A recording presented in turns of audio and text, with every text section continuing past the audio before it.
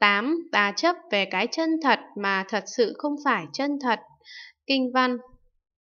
Hiệu thiện nam tử cùng chư hành không, dĩ diệt sanh diệt, nhi ư tịch diệt, tinh diệu vị viên.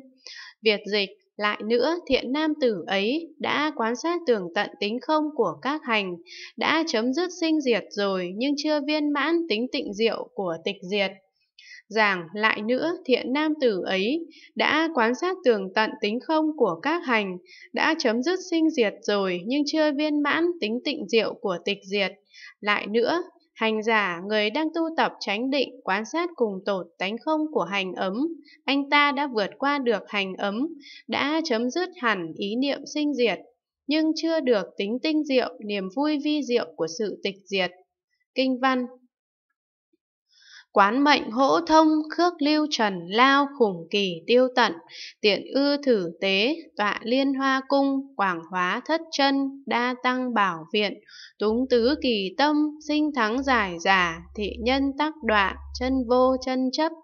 Cha chỉ ca la, thành kỳ bạn lữ, mê Phật bồ đề, vong thất chi kiến. Việt dịch Quán sát căn mệnh và trần cảnh dung thông nhau, nên muốn lưu giữ các trần lao sợ nó bị tiêu mất. Liền ngay lúc ấy, ngồi cung hoa sen, hóa ra rất nhiều bảy thứ chân báu, cùng nhiều gái đẹp, buông lung tâm ý mình rồi cho đây là thủ thắng, người ấy rơi vào cái chấp chân vô chân, thành bè bạn của ngoại đạo cha chỉ ca la, mê mờ tánh bồ đề của chư Phật, đánh mất tránh tri kiến giảng quan sát canh mệnh và trần cảnh dung thông nhau nên muốn lưu giữ các trần lao sợ nó bị tiêu mất. Khi hành giả quan sát sự quan hệ dung thông với nhau giữa các sinh mạng, hành giả thấy mạng sống của mình có quan hệ tương giao với các loài chúng sanh khác, nên muốn bám vào các trần lao sợ nó bị tiêu mất.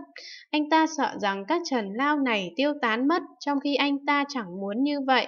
Liền ngay lúc ấy, ngồi cung hoa sen, hóa ra rất nhiều bảy thứ chân báu, cùng nhiều gái đẹp buông lung tâm ý mình, chấp giữ ý tưởng này. Do năng lực biến hóa, hành giả ngồi trên cung điện hoa sen biến ra bảy thứ báu, cùng nhiều gái đẹp buông lung tâm ý mình. Ở trong cung điện hoa sen, anh ta biến hiện ra vô số chân bảo và rất nhiều gái đẹp và nàng hầu, buông mình vào việc hưởng thụ dục lạc, rồi cho đây là thù thắng người ấy rơi vào cái chấp chân vô chân.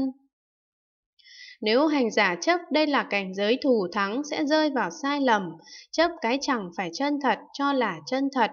Đến mức độ này anh ta lại cho cảnh giới này là tuyệt diệu, nghĩ rằng mình đã chứng đắc được chân lý rồi, nhưng đó không phải là chân, đó chỉ là vọng chấp của anh ta mà thôi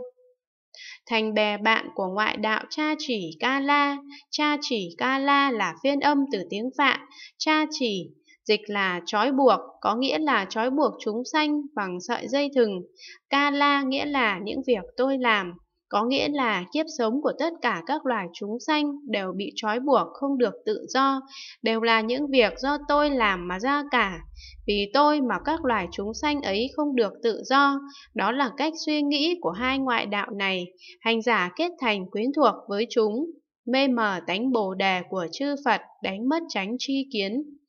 Anh ta chỉ còn mang trong người một thứ tà chi tà kiến. Kinh văn Thị danh đệ bát, phát tà tư nhân, lập xí trần quả, vi viễn viên thông, bối niết bàn thành, sinh thiên ma chủng. Việt dịch đây là dạng thứ 8, lập cái nhân tà tư thành cái quả trần lao xí thạnh, nghịch xa với tánh viên thông, quay lưng với đạo niết bàn, làm nảy sinh giống thiên ma. Giảng đây là dạng thứ 8, lập cái nhân tà tư, đây là dạng thứ 8, chủ định đắm mình trong dục lạc trần lao, do căn cứ vào cái nhân tà kiến.